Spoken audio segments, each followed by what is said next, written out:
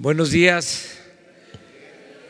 Estamos eh, terminando la reunión de seguridad y ahora informamos que está terminando esta semana.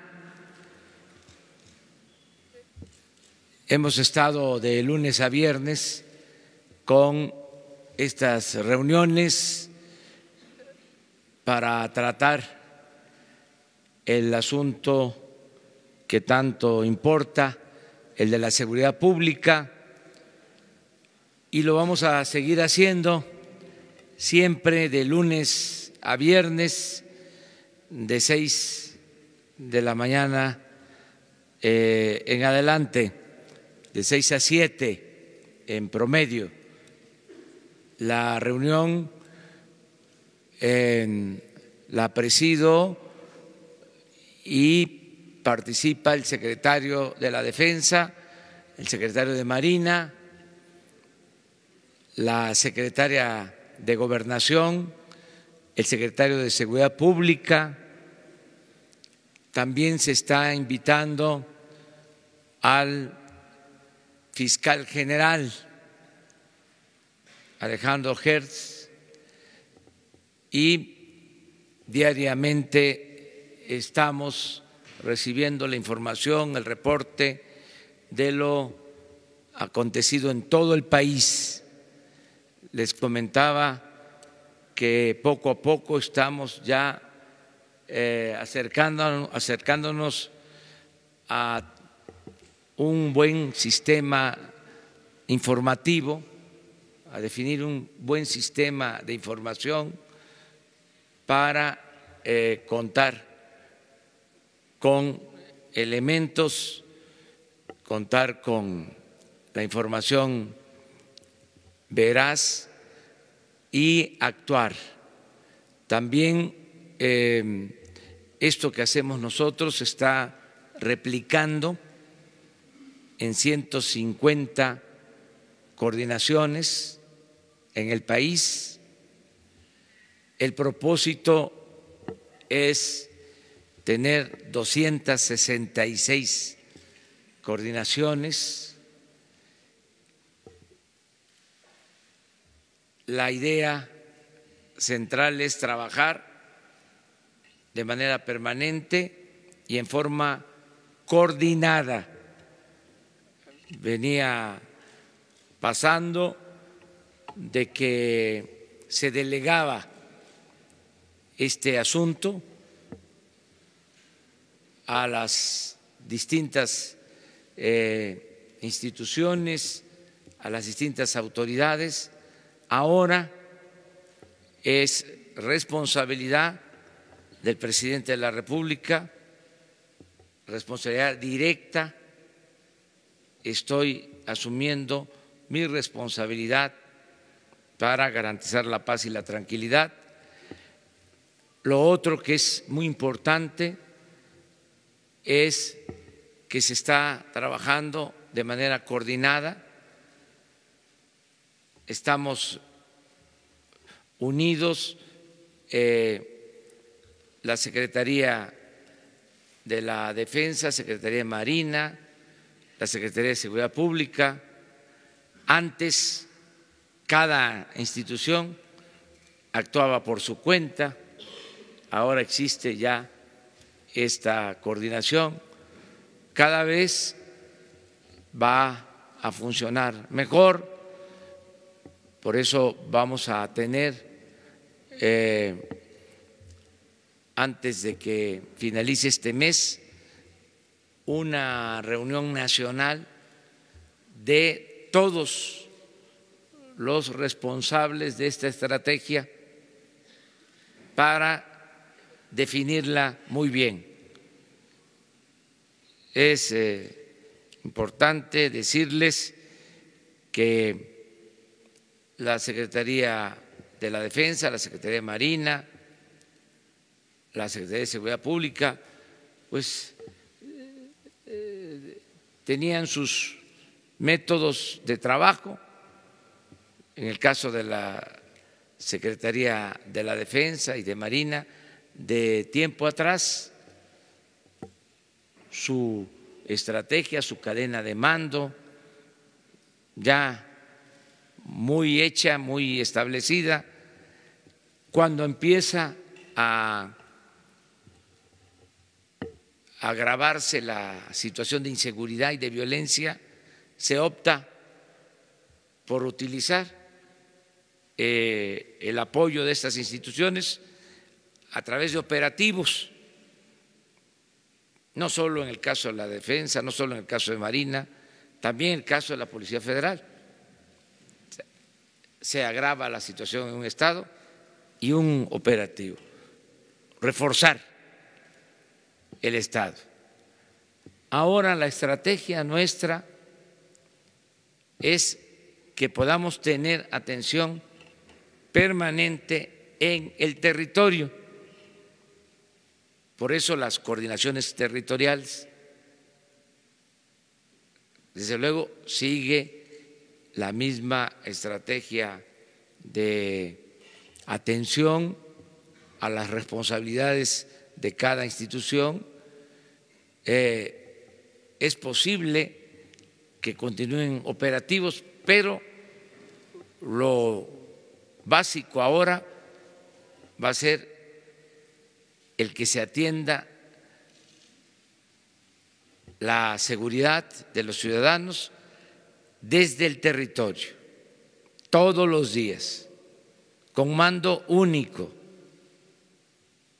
porque en esa coordinación participan de todas las dependencias, pero hay un mando operativo en cada coordinación y se tiene un reporte diario de lo que está sucediendo y diariamente se actúa.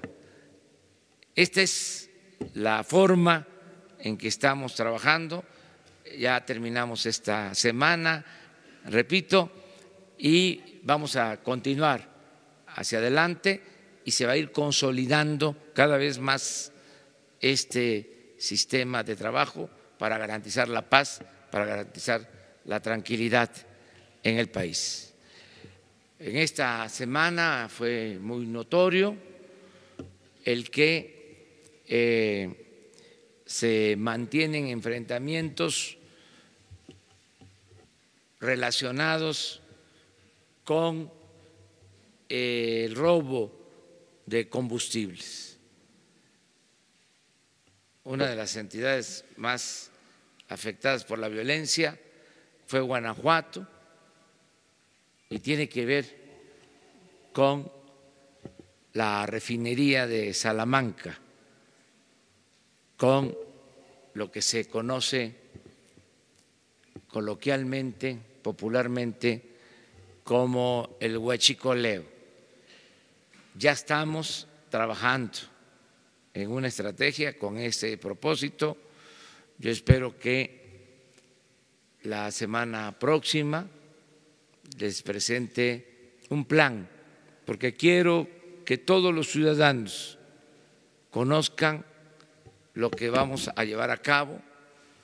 Hace unos días en el Zócalo hablaba yo de solicitar el apoyo de todos para garantizar la paz, la tranquilidad.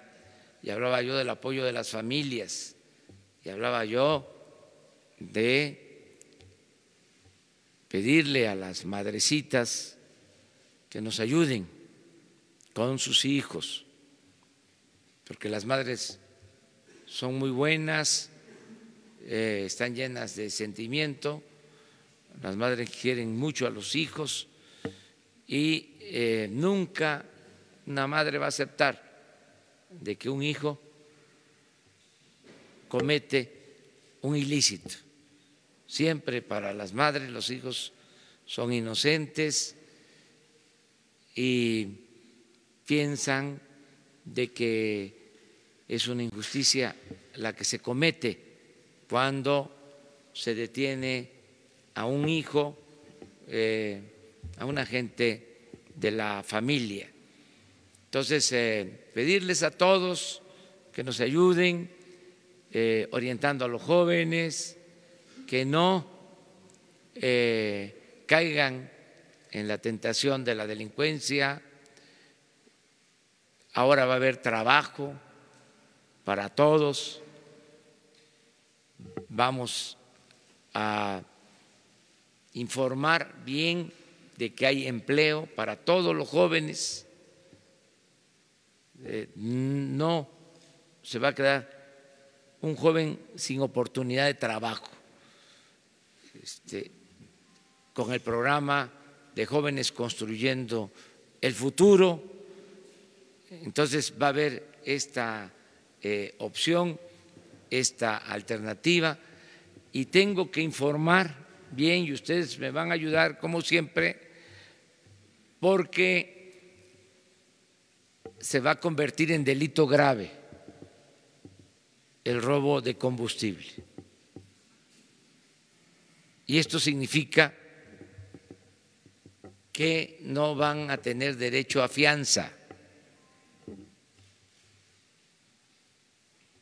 Entonces es muy importante informar, eh, que se tenga conocimiento de que se van a aplicar leyes más severas para estos delitos. Es lo mismo que el delito de corrupción, que no va a tener derecho a fianza. Son los cambios. Anteriormente eh, se podía, aún cometiendo un robo al erario, salir bajo fianza. Ya no va a ser posible. Lo mismo el caso del robo de combustible entonces, es muy importante hacer conciencia, convencer de que hay que cambiar. Ya estamos en una etapa nueva, distinta. En el caso de los jóvenes, repito, van a tener posibilidad de trabajar, se va a contratar a jóvenes como aprendices a dos millones trescientos mil jóvenes. Ya se está haciendo un censo, casa por casa. Van a obtener un sueldo mientras se capacitan de tres mil seiscientos pesos mensuales para comenzar. La idea es que tengan esta opción y no tomen el camino de las conductas antisociales. Bueno, esto es lo que hemos estado haciendo al mismo tiempo que estamos eh, desahogando temas, eh, tenemos ya una agenda y se está elaborando el presupuesto del año próximo. También les informo que hoy eh, me traslado a Nayarit, voy al norte de Nayarit a apoyar eh, a los afectados por el huracán. Eh, hice ese compromiso y vamos a estar en el norte de Nayarit. Mañana vamos a Chiapas y pasado mañana a Tabasco. Y el lunes temprano eh, nos volvemos a encontrar aquí con ustedes. Eso es lo que quería informarles.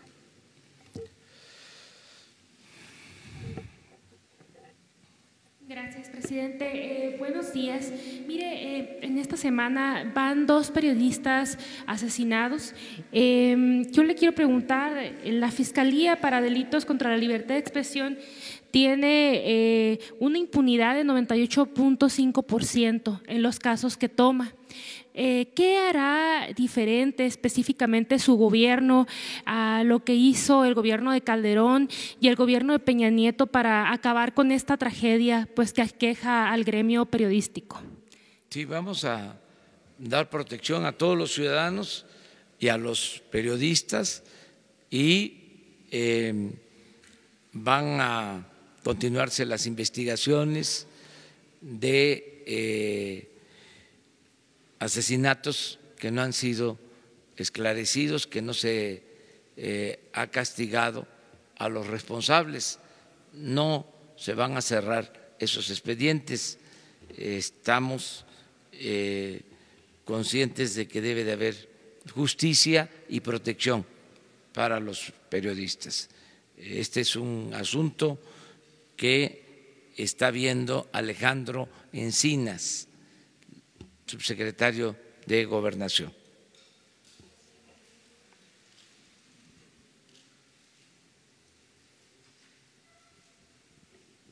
Gracias. Buenos días, Isabel González de Grupo Imagen. Eh, ha dicho presidente en esta semana que se le van a adelantar los eh, recursos federales a los gobernadores, que van a tener mayor eh, presupuesto. Pero en el tema de la seguridad, los gobernadores manifestaron su molestia por los llamados superdelegados. ya se les explicaron los malos entendidos, también lo ha dicho. ¿A qué se comprometieron los gobernadores en materia de estado de fuerza? hablando de policías, el talón de Aquiles, usted lo ha dicho, en nuestro país es que no hay policías confiables, no hay policías fuertes, no hay policías con espíritu de cuerpo. ¿Cuál es la cuota o la responsabilidad, el compromiso de los gobernadores en este sentido? Porque mucho de la falta de una buena policía en los estados se debe a que los gobernadores no han hecho su trabajo en este sentido.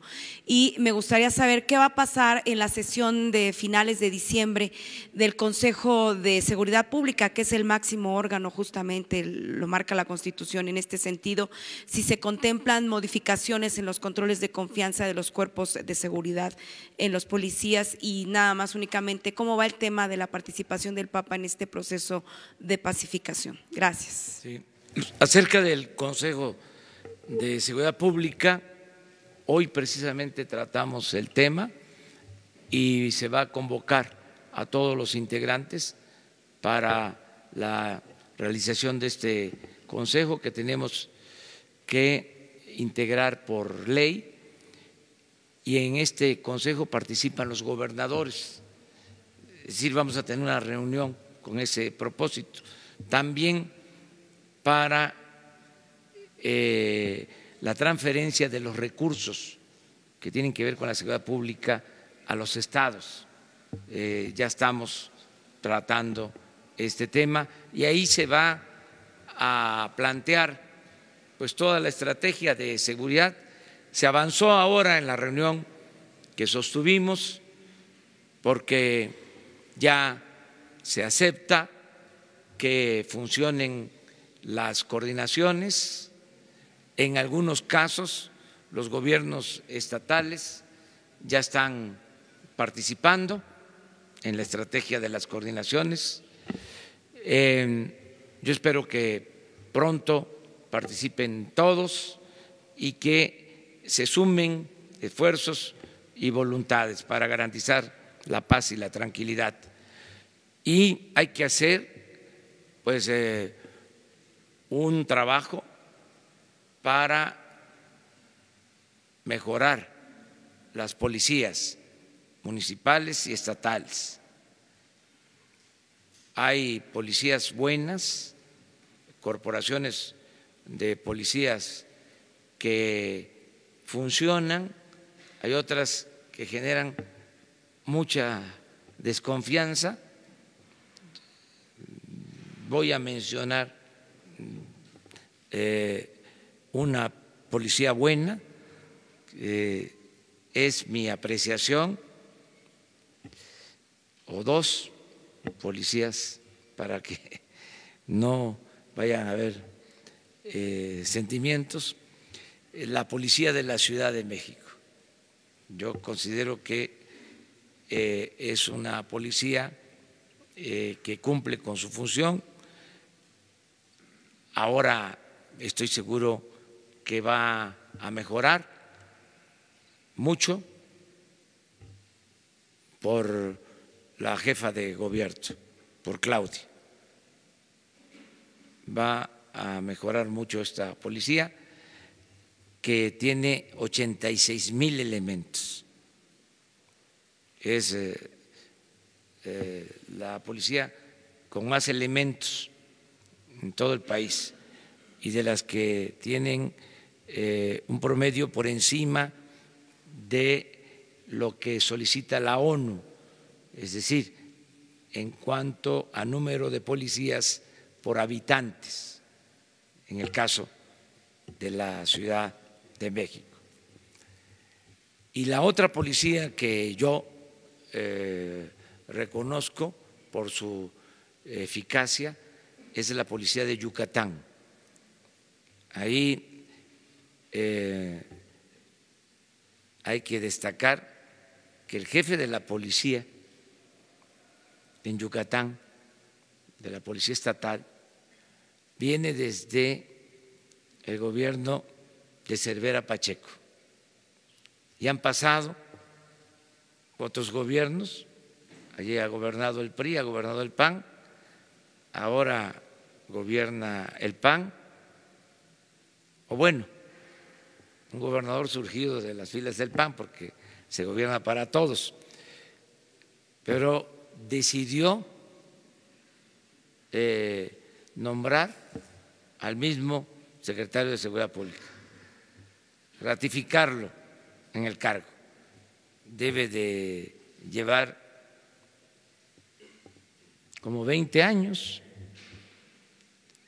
en seguridad pública y los resultados son buenos, porque Yucatán es de las entidades más seguras del país. Entonces, hablo de policías buenas, este, hay otras que hace falta una revisión. Sí, sí. Yo pienso que aquí, por ejemplo, vamos a estar hablando de estos temas, este, de donde las policías no están a la altura de lo que se requiere, de lo que necesitan los ciudadanos. Eh, esto tiene mucho que ver con el pintar la raya, la frontera entre autoridad y delincuencia. Ya cuando no existe esa frontera, se pierde todo. Entonces, eh, vamos a ir mejorando poco a poco todo el sistema de seguridad pública.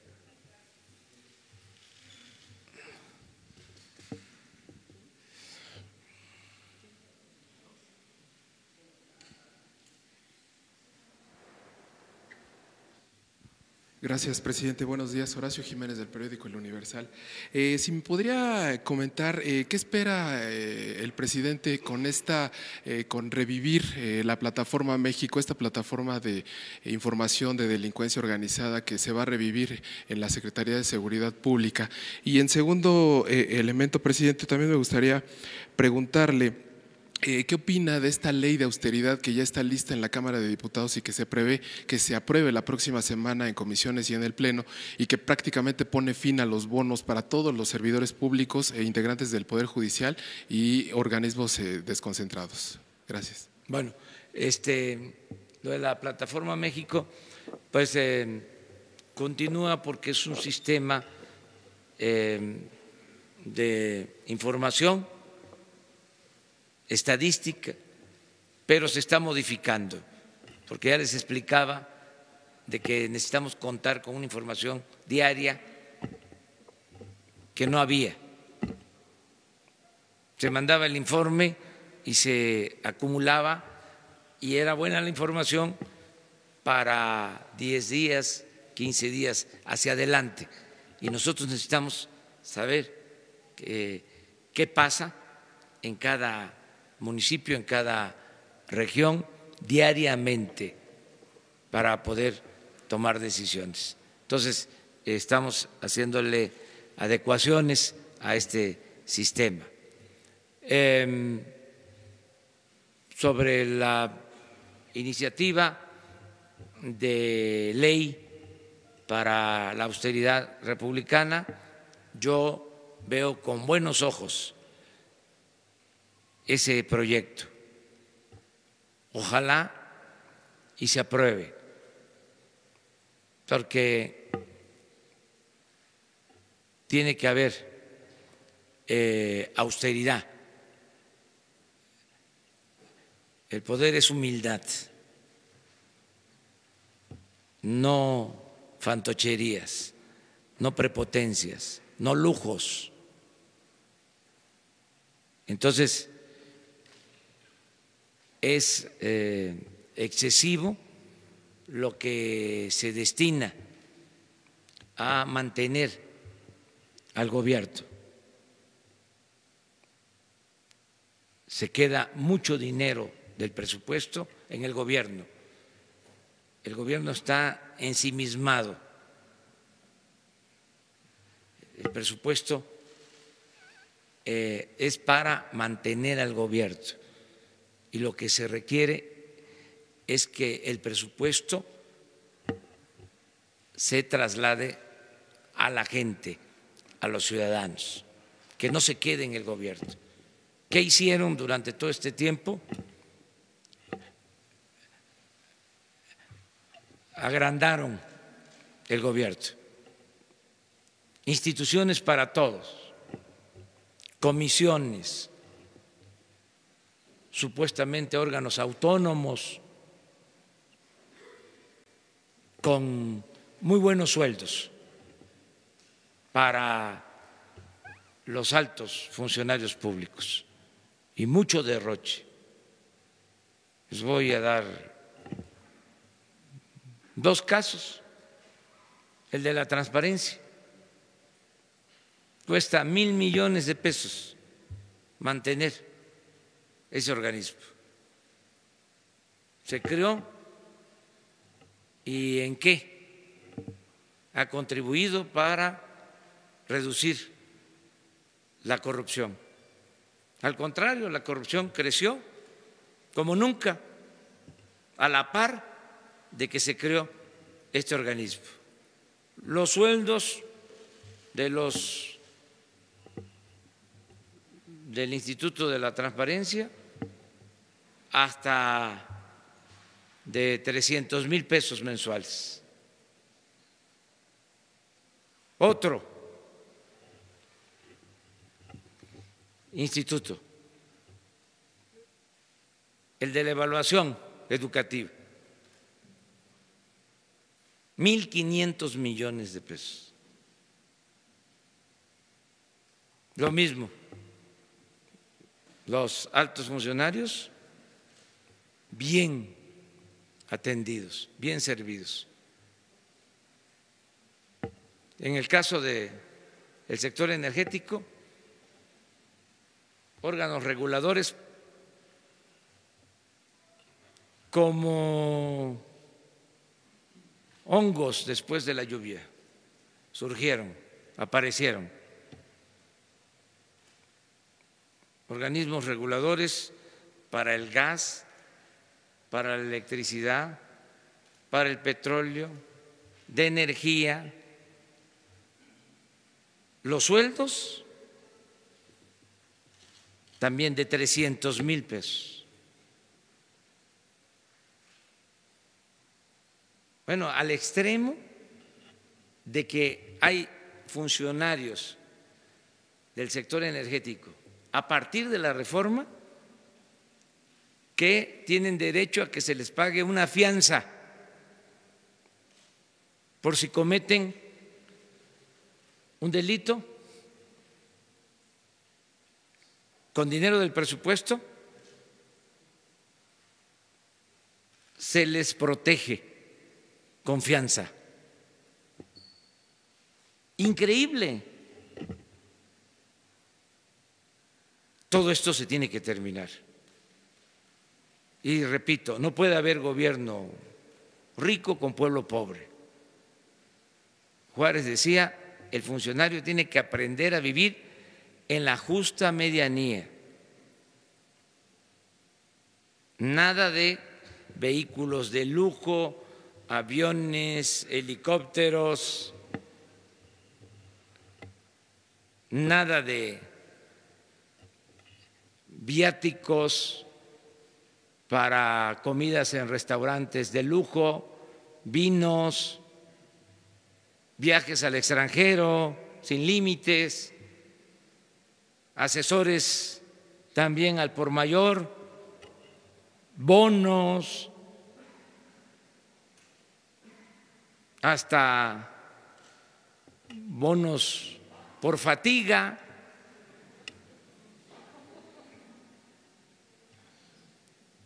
Todo eso se termina. es una etapa nueva y que se entienda, la austeridad no es un asunto administrativo, es un asunto de principios y se va a aplicar.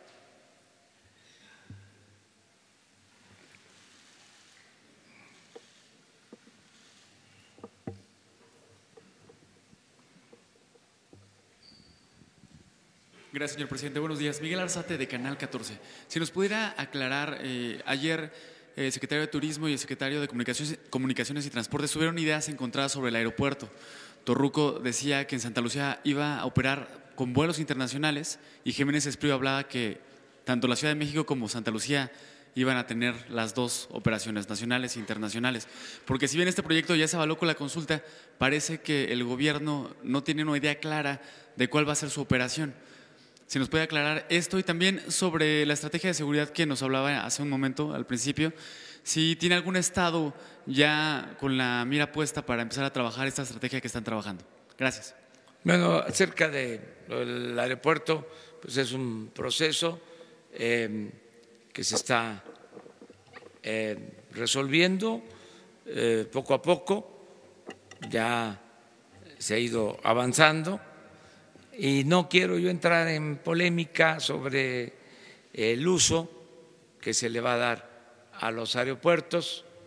Eso se está analizando, se está estudiando. Cuando tengamos ya un plan definitivo, se les va a notificar. Sobre la estrategia de seguridad, es nacional, básicamente, y todos los días vamos aquí a platicar sobre ese tema, a informarles sobre ese tema.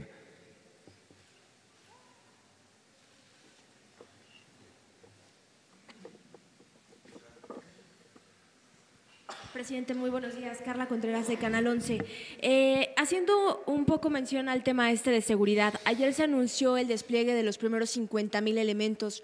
¿Con qué instrucción llegan estos elementos, presidente? ¿Cuál va a ser el primer contacto que tengan con la ciudadanía, eh, dado que es uno de los temas más sensibles que ahorita afectan al país? Abordando el tema del turismo.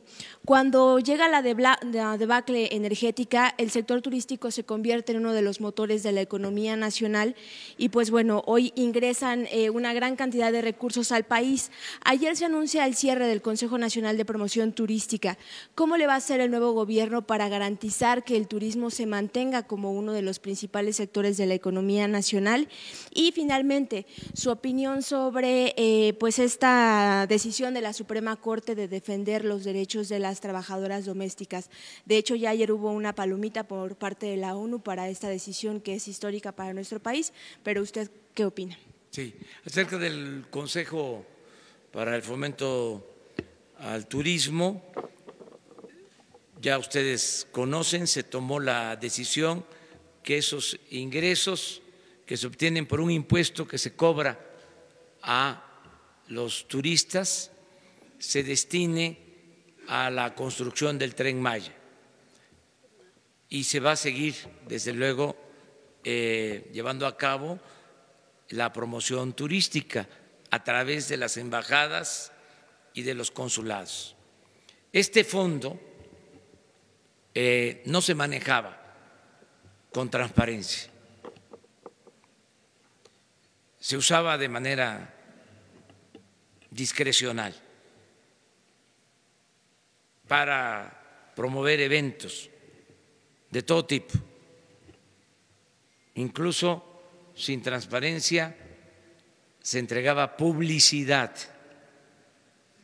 a ciertos medios.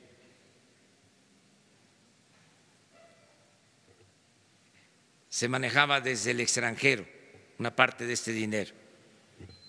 Entonces, por eso se va a dejar de utilizar con ese propósito y se va a invertir precisamente para el turismo.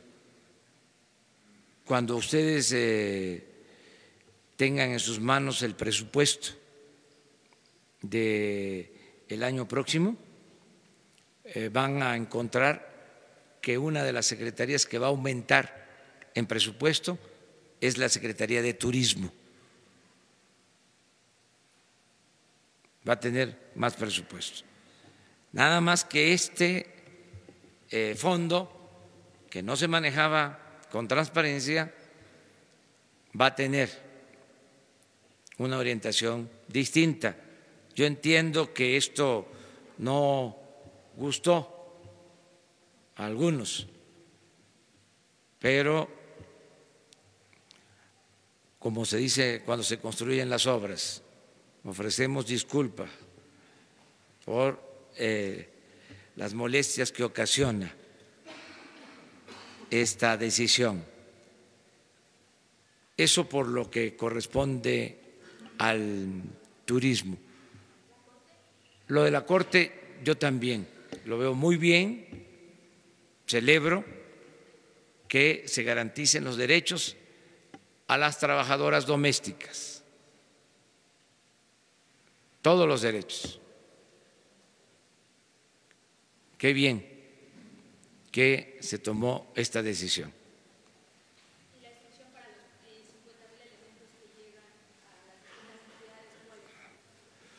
Van a seguir este, siendo eh, protegidos los turistas.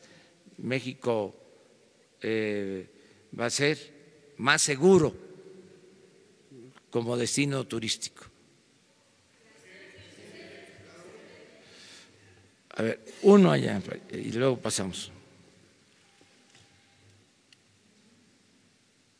Buenos días, presidente. Un par, eh, un par bueno, primero un pequeño comentario. En lo que dijo ahorita sobre el Instituto Nacional de Transparencia, el, el INAI, este, solo para comentar que para los periodistas sí ha servido mucho y muchas este, investigaciones que hemos podido hacer que revelan corrupción en niveles del gobierno se hacen por, que nos entregan documentos que por otro lado no, no podríamos tener. No sé si usted tiene un plan de, de deshacer de la, del instituto, pero me gustaría saber si hay otra, si habrá otra forma de accesar esta información en una forma transparente para el, ciudadano y el, público. Y otro sobre la situación de, los migrantes centroamericanos en, Tijuana. Ahorita ha estado lloviendo, este, muchos están durmiendo en, carpas afuera que no tienen mucho este, impermeabilidad este, y hay mucha enfermedad. La situación está medio feo en, en términos humanitarios y quiero saber si hay un plan para atender a ellos más allá de lo que están haciendo y que han estado haciendo desde las últimas semanas. Muchas gracias. Sí, miren lo que son las cosas. A ustedes les va bien con el Instituto de la Transparencia. Yo la información que tengo es este, de otro tipo. Les voy a dar dos datos. Cuando inicia el Instituto de la Transparencia, allá por el año 2002, 2003, la primera decisión que toma es mantener bajo reserva, es decir, ocultar la información sobre la condonación de impuestos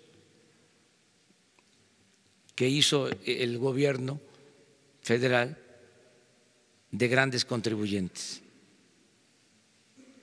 que por cierto se vence ahora el plazo en el 19.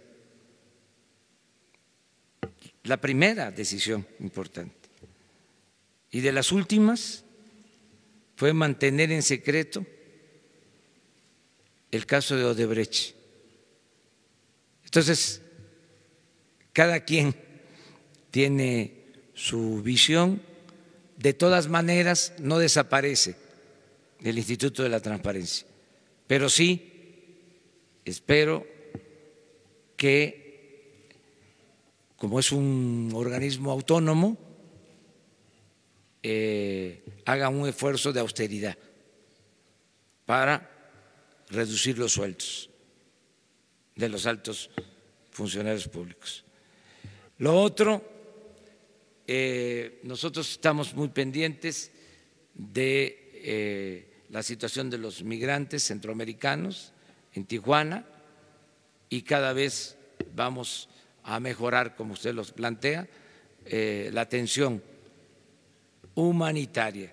Se va a proteger los derechos humanos de los migrantes están trabajando de manera coordinada la Secretaría de Gobernación y la Secretaría de Relaciones Exteriores. Pero ahora mismo, este, de acuerdo a lo que me está este, eh, planteando y su recomendación, que la aceptamos, vamos a mejorar a, buscar la forma de que estén mejor los migrantes, que no les falte alimentación, que no les falte atención médica, que eh, tengan todo el apoyo. Vamos a, a la izquierda. A ver, tú primero, el primero. Buenos días, presidente. Si les parece, nada más nos vamos con tres porque Vamos a ver. Para preguntarle, o mejor dicho, pedirle una descripción, un detalle sobre esta estrategia que usted ha anunciado em, pues en sus últimos eh, discursos y ahora mismo, esta estrategia de hablar con las familias. Usted ha dicho hablar con las familias todos los días. ¿Lo ha hecho? Eh, ¿Cuál es, eh, digamos, el modelo que ha seguido? Y cuáles son los resultados hasta ahora obtenidos. Eh, soy Daniel Blancas de la Crónica. Buenos días. Sí, lo vamos a seguir haciendo. Nos vamos a seguir comunicando.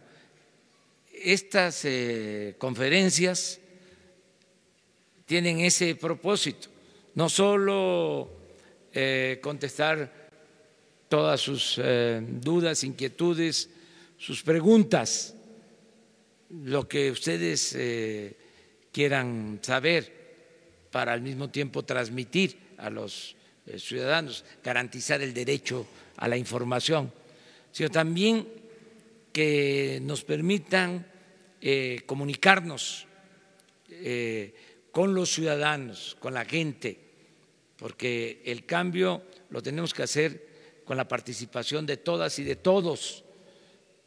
No es asunto de un solo hombre, no solo es asunto del presidente, no solo es asunto del gobierno, es un asunto de todas y de todos. Entonces, yo estoy seguro que me van a ayudar mucho las familias, me van a ayudar mucho los adultos mayores. Por ejemplo, vamos a reeditar la cartilla moral de Alfonso Reyes para fortalecer valores culturales, morales, espirituales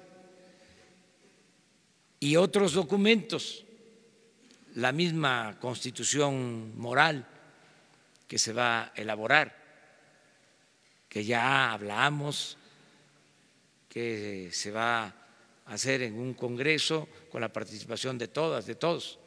Bueno, esos documentos se los voy a enviar a los adultos mayores para que nos ayuden eh, orientando en la familia, eh, hablando con los nietos sobre eh, la importancia de mantener principios, de mantener ideales, de mantener valores. Entonces, ¿por qué se los voy a enviar a ellos? Eh, no me va a costar trabajo porque se está levantando un censo de todos los adultos mayores que tienen el derecho a recibir una pensión. Entonces, les voy a pedir que de manera voluntaria, en el tiempo que les quede libre, ayuden a hablar con sus familiares, con sus nietos. Todo esto lo voy a hacer y esta eh, conferencia, este diálogo circular nos va a ayudar mucho, porque se va a saber hasta el más apartado rincón del país, se va a abrir paso la información, ya sea por el medios convencionales, periódicos, la radio, la televisión, las redes sociales, ya que se informe a los ciudadanos. repito, garantizar el derecho a la información. Ustedes son comunicólogos, saben que no es fácil que una información se transmita. A veces hay un hecho eh, importante, una noticia, y se enteran muy pocos. Uno piensa que si hay una noticia eh, se van a enterar la mitad de los ciudadanos. Pues no, hay veces que son eh, noticias importantes y se alcanzan a enterar el 20% de los ciudadanos. Entonces, sí necesitamos que cada vez haya más información. Este es el propósito de eh, este encuentro con ustedes, que pues eh, permite que las familias se enteren Imagínense, se aprueba la ley para em, que sea delito grave el robo de combustible. Se aprueba y se aplica, porque ahora el que eh, se robe 10 litros va a ser eh, consignado sin derecho a fianza. Es mejor que se sepa, que haya la información en todo. Este, aquí vamos a estar este, informando sobre esto. ¿Por qué tenemos que tomar estas medidas? Porque aun cuando no se tiene todavía una cifra exacta, se calcula que se roban de 50 a 70 mil millones de pesos al año de combustible.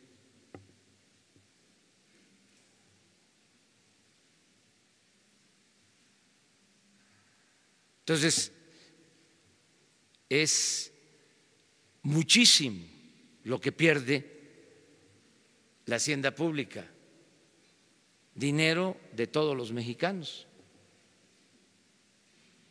Entonces tenemos que tomar estas decisiones. Al mismo tiempo, no es nada más endurecer las leyes, sino dar opciones, que los jóvenes tengan trabajo, que haya bienestar. Eso es lo que se está eh, proponiendo. A ver, y uno más. Él, y ya. Buenos días, buenos días, presidente Jaime Obrajero, reportero de W Radio. Yo quiero retomar el tema de los derechos plenos de las trabajadoras y trabajadores domésticos. Preguntarle si su gobierno sí va a ratificar el convenio 189 de la Organización Internacional del Trabajo, que precisamente se debe a eso porque eso debió, haberse, debió, haber ocurrido desde hace cuatro años y bueno, son poco más de dos millones los trabajadores domésticos, trabajadoras domésticas, la mayoría mujeres. Si, usted, si es, su gobierno piensa ratificarlo y cuándo podría darse esto. Lo vamos a hacer, se va a ratificar el convenio. Eh, voy a hablar con la secretaria del Trabajo Luisa María Albores para ponerse de acuerdo y eh, cumplir con este eh, acuerdo. Hubo una confusión ahí, quedaron dos, pues. Pero tú, empiezas tú.